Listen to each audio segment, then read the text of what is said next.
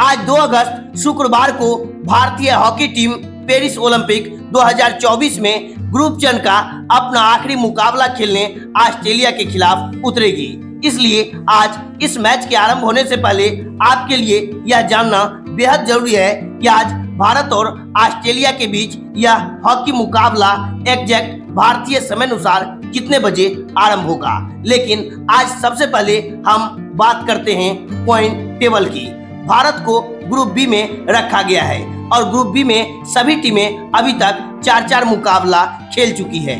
इस समय group B में बेल्जियम की टीम 12 अंक के साथ टॉप पर बनी हुई है। वहीं इस पॉइंट टेबल में 9 अंक के साथ ऑस्ट्रेलिया की टीम अब दूसरे स्थान पर आ गई है।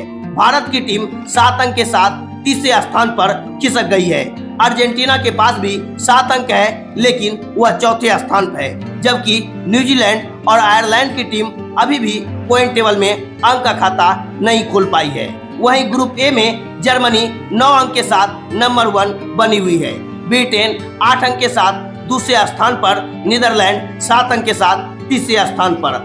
स्पेन के पास भी सात अंक है, लेकिन स्पेन की टीम चौथे स्थान पर काबिज है।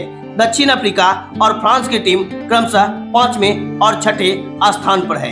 आज भारत और ऑस्ट्रेलिया के बीच एक रोमांचक मुकाबला होने की संभावना है।